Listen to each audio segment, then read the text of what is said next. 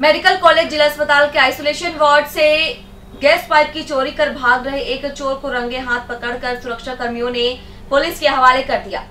चोर के साथ एक महिला भी थी जो मौका देखकर फरार हो गई। सुबह करीब साढ़े सात बजे यह घटना सामने आई है। मेडिकल कॉलेज के ऑक्सीजन प्लांट में इससे पहले भी बोर की चोरी हो गई है। इस लिहाज से चोर के पकड़े जाने से बोर चोरों की भी जानकारी मिल सकती है।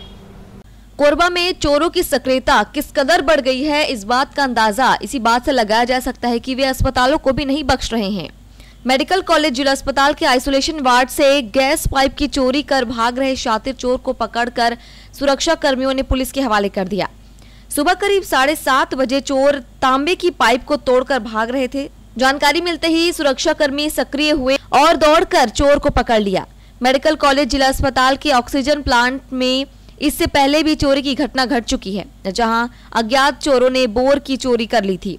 इस लिहाज से चोरी के ताज़ा मामले में पकड़े गए चोर से पुराने मामले का सुराग भी मिल सकता है। सुबह सात बजे आसपास, साढ़े सात बजे आसपास पता चला कि आइसोलेशन वार्ड का गैस वाला पाइप जो है, उसको तोड़ के लेके जा रहे हैं, पता चला। हाउस कीपिंग इंचार्ज के साथ में हम लोग गए और उसको पकड़े उसको। फिर पता किया कि उसके साथ में बढ़िया भी थी, वो भाग गई तो इसको पकड़े।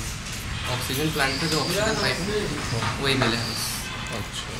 क्या पहले भी वहाँ ऑक्सीजन प्लांट में और चोरियाँ हो चुकी हैं? हाँ उसके पीछे एक बोर था वो चोरी हुआ था पहले। बहरहाल चोर को पुलिस के सुपुर्द कर दिया गया है। मामले में अपराध कायम कर पुलिस आरोपी से पूछताछ कर रही है।